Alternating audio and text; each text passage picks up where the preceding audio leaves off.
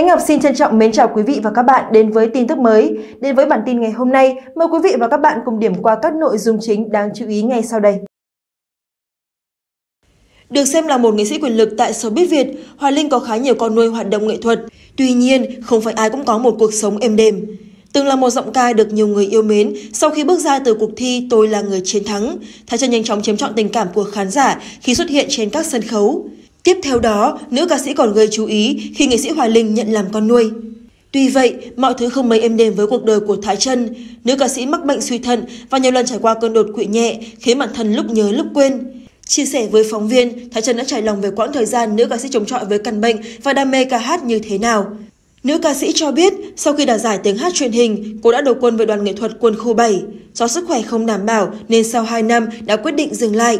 Tiếp theo đó, Thái Trân đi sâu tự do lúc này cũng đắt sâu vô cùng và được anh chị em rất thương, trong đó cũng gặp gỡ được bố Hoài Linh. Lúc tham gia chương trình Tôi là người chiến thắng, Thái Trần đã thường xuyên xỉu trong hậu trường. Lúc đó Hoài Linh đo huyết áp đã lên tới 180 và có nguy cơ đột quỵ.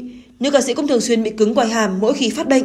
Nữ ca sĩ chia sẻ, tôi bị những cơn đột quỵ thoáng qua, nếu bạn nhìn kỹ sẽ thấy miệng tôi hơi sệ xuống một chút. Tôi bị nói lắp nhẹ, chỉ người thân thiết mới nhận ra, đó là di chứng. Tôi còn hay quên, khoảng 2 năm trước có lần tôi đứng giữa đường khóc vì không biết mình là ai, mình định đi đâu. Cũng may là chỗ đó gần nhà, mọi người biết tôi nên dẫn má chồng tôi đến đón về. Tôi cũng không nhận ra má chồng. Bên cạnh đó, Thái Trần cũng cho biết cô nhiều lần điện thoại tâm sự và khóc với bố nuôi. Tuy nhiên càng ngày cô càng thấy mình như gánh nặng của Hoài Linh và không dám gọi nữa. Trước căn bệnh, Thái Trần đành phải bỏ lỡ niềm đam mê với âm nhạc. Nhiều lần nhận được lời mời trở lại sân khấu, nhưng có lúc nữ ca sĩ cũng từ chối vì sức khỏe không cho phép.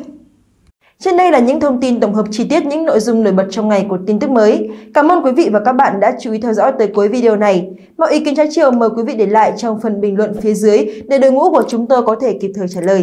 Xin kính chào quý vị và hẹn gặp lại trong những bản tin tiếp theo của tin tức mới.